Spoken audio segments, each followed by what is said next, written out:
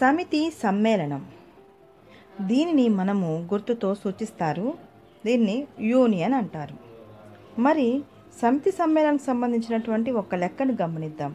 ఏ ఒకటి రెండు మూడు నాలుగు బి రెండు నాలుగు ఆరు ఎనిమిది. అయినా ఏ యూనియన్ బి ఏమవుతుంది? So A union B. So ఏలోని మూలకాలన్నీ రాద్దాం. యూనియన్ బిలోని మూలకాలు. సో మనం యూనియన్ అన్నాం కాబట్టి ఏమని అర్థము?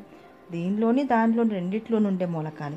ఒకటి రెండు నా మూడు నాలుగు ఆరు ఎనిమిది. సో ఈ విధంగా ఏ యూనియన్ బి అంటే మనము మొత్తం అన్ని మూలకాలు. దీన్ని మనం ఇంకొక రూపంలో చూద్దాము. వెంచిత్ర రూపంలో. సో మొదటగా ఏలోని మూలకాలు. ఒకటి రెండు మూడు నాలుగు మరి బిలోని మూలకాలు.